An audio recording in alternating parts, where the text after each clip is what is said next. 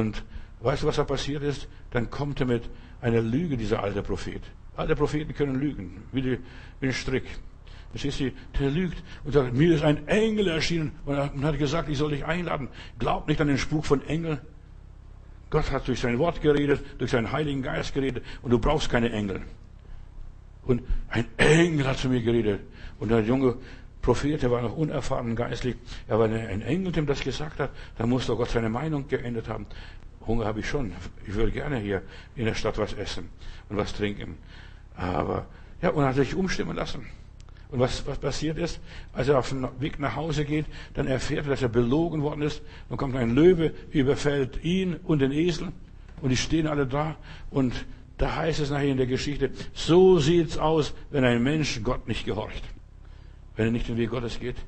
Löwe überfällt ihn. Und Leute munkeln und schimpfen und reden. Ja, die, Gottes Wege sind keine ausgetrampelten Wege, keine ausgefahrenen Wege, keine selbstgewählten Wege, keine menschlichen Wege. Gott hat gesagt und tu's. Und jedem sagt er immer was anderes. Dir sagt er was anderes und mir sagt er was anderes. Gott will dir in der Wüste den Weg bahnen. Und weißt du, in der Wüste muss man lernen durchzukommen. Die Wüste ist rau. In der Wüste gibt es keine Straßen. Das sind nur Dünen und die verändern sich ständig jeden Tag. Ist die Düne wieder anders, wenn es Sanddünen sind? Gehe den Weg. Noch ganz schnell. Bleibe dicht hinter Jesus. Ganz dicht. Dann kommst du ans Ziel. Bleibe in seiner Spur. Morgen, du siehst sie und übermorgen siehst du sie wieder nicht mehr.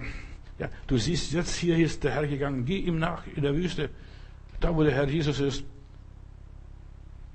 Viele haben die Orientierung verloren, haben zu lange gewartet, Jesus ist weitergegangen und dann müssen sie wohl oder übel im Kreis tippeln.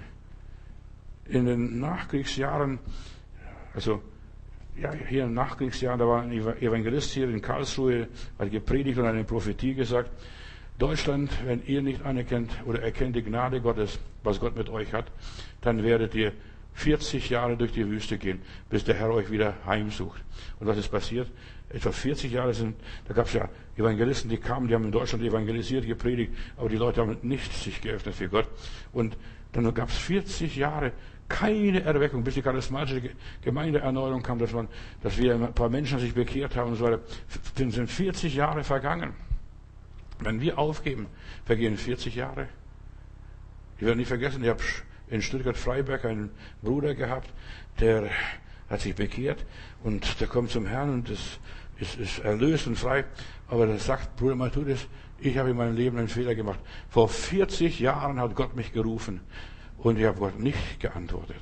Ich bin nicht auf seine Reden eingegangen. Dann ist er im Satanismus gelandet, im Okkultismus gelandet, im Spiritismus gelandet. Überall er gesucht, bloß nicht bei Gott. Bis Gott ihn zerbrochen hat. Und dann nach 40 Jahren Sagte, sage ich, so lang bist du in der Irre gewesen, bis du gemerkt hast, dass Gott dich lieb hat. Damals hättest du Ja sagen können. Damals wäre die Stunde da gewesen. Aber jetzt musst du jetzt warten, bis der Zug wiederkommt, bis der Herr wieder gnädig ist. Weißt du, Gott lässt dich laufen. Er ist nicht verpicht, dir zu helfen, aber er würde dir gerne helfen. 40 Jahre. Nütze die Zeit. Lieber Heiland, ich danke dir, dass du uns führst und leitest. Deine Wege sind ungewöhnliche Wege, einmalige Wege, was ganz Besonderes.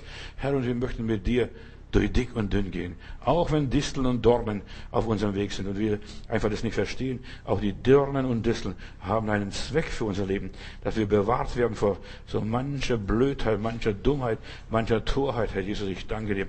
Du bewahrst deine Kinder zwischen Dornen und Disteln. Und im Schweinste ihres Angesichtes dürfen sie ihr Brot essen. Das ist Gnade. Herr, ich preise dich, dass ich das lernen durfte. Und ich möchte, dass du weiter die Geschwister lehrst, deinen Weg zu gehen. Nicht meinen, nicht unseren Weg, deinen Weg, Herr. Amen.